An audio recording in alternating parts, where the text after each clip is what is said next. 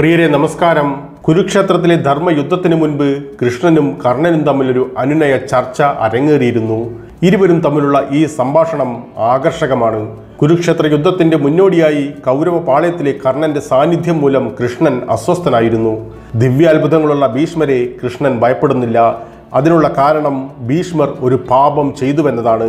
കാശിയിലെ മൂന്ന് കന്യകമാരായ അംബ അംബിക അംബാലിക എന്നിവരെ തട്ടിക്കൊണ്ടുപോയി അവരുടെ ജീവിതം പ്രതികൂലമാക്കി. ആ സമയം മുതൽ അംബ ശിഖണ്ഡിയുടെ രൂപത്തിൽ ഭീഷ്മർക്ക് ഒരു പ്രതിവാദമായി അവിടെ നിലകൊള്ളുന്നുണ്ട്. കാരണം ഭീഷ്മരുടെ അന്ത്യത്തിന് താൻ കാരണമാകുമെന്ന അമ്പയുടെ പ്രതിജ്ഞയുടെ ഉറപ്പുണ്ടിവിടെ അതേപോലെ ദ്രോണരുടെ സാന്നിധ്യത്തെയും കൃഷ്ണൻ ഭയപ്പെട്ടിട്ടില്ല. കാരണം ദ്രോണരുടെ ബാല്യകാല മിത്രവും പിന്നീട് ബദ്ധവൈരിയുമായ ദ്രുപദൻ ഒരു യജ്ഞം നടത്തി രണഭൂമിയിൽ ദ്രോണരെ വധിക്കുവാനായി ദൃഷ്ടുപ്നന് ജന്മം നൽകിയിട്ടുണ്ട്. എന്നാൽ കർണന്റെ കൗരവചേരിയിലെ സാന്നിധ്യം കൃഷ്ണൻ ഭയപ്പെടുക തന്നെ ചെയ്യുന്നു. കാരണം ഈ മനുഷ്യൻ ഒരു പാപിയല്ല. അതുകൊണ്ട് തന്നെ കർണന് എതിരാളിയില്ല. കർണന്റെ കൈവശം ഒരു വാസവി ശക്തി ഉള്ളതിനാൽ ധർമ്മത്തിന്റെ വിജയത്തിന് അതൊരു വലിയ തടസ്സമാണ്. കർണൻ തന്റെ വാസവി ശക്തി പ്രയോഗിച്ചാൽ അർജുനൻ മരിക്കും. അർജുനന്റെ വിയോഗം പാണ്ഡവരുടെ നഷ്ടം ഉറപ്പുവരുത്തും. കർണൻ തന്റെ ഏറ്റവും വലിയ പ്രതിരോധത്തിന്റെ ഭാഗമായി ഇന്ദ്രനിൽ നിന്ന് വാസവി ശക്തി സ്വീകരിക്കുന്നു. കവച കുണ്ടലങ്ങളെക്കാൾ ഫലപ്രാപ്തിയുള്ള വാസവി ശക്തിയാണ് കർണൻ അർജുനന് വേണ്ടി കരുതി വച്ചിരിക്കുന്ന തുറുപ്പുചീട്ട്.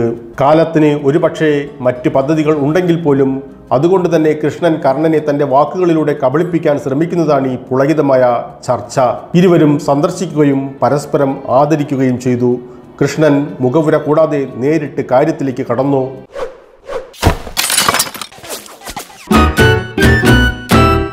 ഹേ രാധേയ വേദങ്ങളിൽ പരിജ്ഞാനമുള്ള അനേകം ബ്രാഹ്മണരെ നീ ആദരിച്ചു. ഏകാഗ്രമായി ശ്രദ്ധയോടും അസൂയയില്ലാത്ത മനസ്സോടും കൂടി നീ അവരോട് പല അവസരങ്ങളിലും സത്യം അന്വേഷിച്ചു. അതിനാൽ തന്നെ നിനക്കറിയാം കർണ വേദങ്ങൾ പ്രതിപാദിക്കുന്ന ശാശ്വത വാക്ക് വേദങ്ങളിലെ സൂക്ഷ്മമായ എല്ലാ നിഗമനങ്ങളിലും നീ വിദഗ്ധനാണ്. കനിന സഹോദ എന്നീ രണ്ട് വിധത്തിലുള്ള പുത്രന്മാർ ജനിച്ചുവെന്ന് വേദജ്ഞാനമുള്ളവർ പറയുന്നു. കന്യകയെ വേലക്കാരിയെ വിവാഹം കഴിക്കുന്ന അവരുടെ പിതാവിനെ ഏൽപ്പിക്കണമേ. ഹേ കർണ നീ ഇപ്രകാരം ജനിച്ചിരിക്കുന്നു. അതിനാൽ നീ ധാർമ്മികമായി പാണ്ഡുവിന്റെ പുത്രനാണ്. വരൂ തിരുവഴുത്തുകളുടെ കൽപ്പന പ്രകാരം നീ രാജാവാകൂ. നിന്റെ പിതാവിന്റെ പക്ഷത്ത് നിനക്ക് പൃഥ്വിയുടെ പുത്രന്മാരുണ്ട്. നിന്റെ മാതാവിന്റെ പക്ഷത്ത് വൃഷ്ണികളുണ്ട്. മനുഷ്യരിലെ കരുത്തനായവനെ ഇവ രണ്ടും നിനക്ക് സ്വന്തമാണെന്ന് അറിയുക. ഈ ദിവസം തന്നെ ഈ നിമിഷം മുതൽക്ക് തന്നെ എന്നോടൊപ്പം നിങ്ങൾ തുടരുന്നു രാജാവേ. യുധിഷ്ഠിരനു മുമ്പ് ജനിച്ച കുന്തിയുടെ മകനായി പാണ്ഡവരും സുഭദ്രയുടെ അജയനായ പുത്രനും എല്ലാവരും നിന്റെ പാദങ്ങൾ ആശ്ലേഷിക്കും. എല്ലാ രാജാക്കന്മാരും രാജകുമാരന്മാരും വീണ്ടും പാണ്ഡവ കാരണാർത്ഥം സമ്മേളിച്ചിരിക്കുന്നവരും എല്ലാ അന്തകന്മാരും വൃഷ്ണികളും നിങ്ങളുടെ പാദം ആശ്ലേഷിക്കും. നീയാണ് കുന്തിയുടെ ഏറ്റവും മൂത്ത പുത്രനെന്ന് തിരിച്ചറിയുക. ഹസ്തിനപുരത്തിന്റെ സിംഹാസനത്തിന്റെ അമരത്തിരിക്കാൻ ഏറ്റവും യോഗ്യനായ വ്യക്തിയാണ് നിങ്ങൾ. വരൂ കർണ എന്നോടൊപ്പം വരൂ. എല്ലാ പാണ്ഡവരും നിങ്ങളെ ഹാർദവമായി സ്വാഗതം ചെയ്യും. ദ്രൗപദി നിങ്ങളുടെ രാജ്ഞീപദം അലങ്കരിക്കും. നീ എന്തിനാണ് ദുര്യോധനന് വേണ്ടി പ്രവർത്തിക്കുന്നത്? ആയുധമേന്തുന്നത് അതിന് കർണൻ ഇപ്രകാരമാണ് മറുപടി പറഞ്ഞത്. പാണ്ഡവർ എന്റെ സഹോദരന്മാരല്ല. പിന്നെ ഞാൻ ഒരു സാമ്രാജ്യത്തിന്റെ അധികാരവും മോഹിക്കുന്നുമില്ല. ഈ സന്ദർഭത്തിലെങ്കിലും ഞാൻ കുന്തിയുടെ മൂത്ത പുത്രനാണെന്ന് പറഞ്ഞതിന് നന്ദി. ഒരുപാട് കാലമായി ഞാൻ ഈ ഉത്തരം തിരയുകയായിരുന്നു. കണ്ടെത്താൻ സഹായിച്ചതിന് നന്ദി കൃഷ്ണ. നിങ്ങൾ ആരാണെന്ന് ഇപ്പോൾ നിങ്ങൾ തിരിച്ചറിഞ്ഞിരിക്കുന്നു. നിങ്ങളുടെ കുലമഹിമയും നിങ്ങളുടെ യോഗ്യതയും ഇപ്പോൾ ഉണരാനായി. എന്നിട്ടും എന്തുകൊണ്ടാണ് നിങ്ങൾ ധർമ്മത്തിന്റെ പാളയത്തിലേക്ക് ചേരാൻ മടിക്കുന്നത്?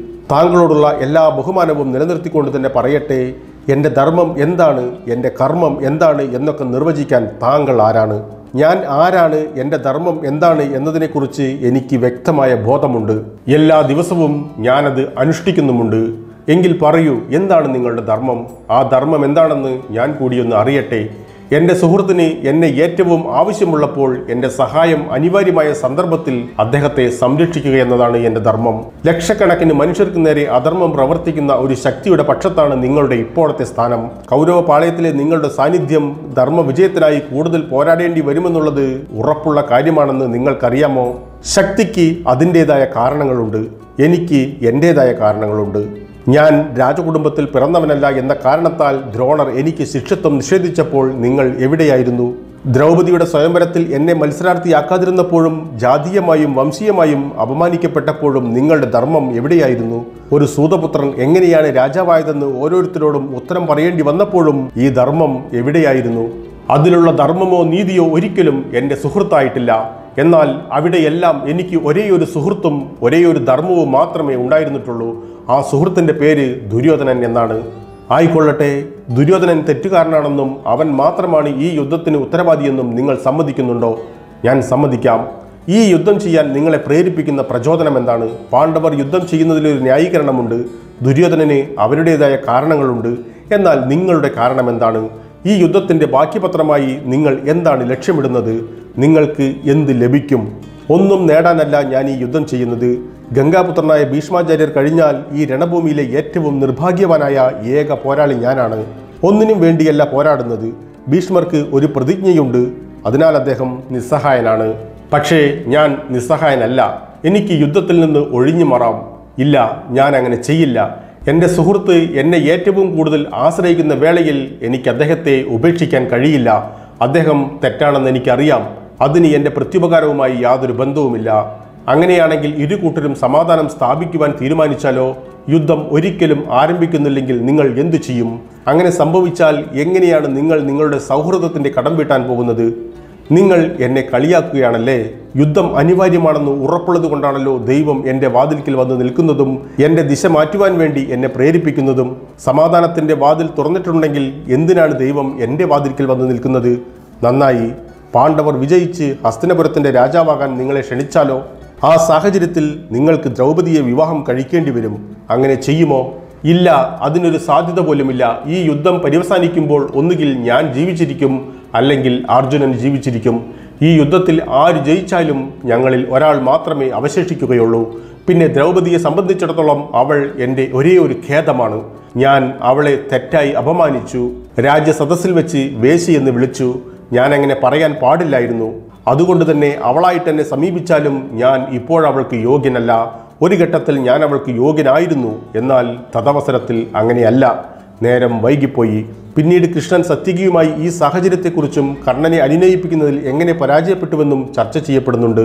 കാലത്തിന് കർണനൊരു ഉത്തരം ഉണ്ടായിരിക്കണമെന്നും ആ എതിരാളി പരിണമിക്കുന്നതുവരെ കാത്തിരിക്കണമെന്നും അദ്ദേഹം പ്രസ്താവിക്കുന്നുണ്ട്.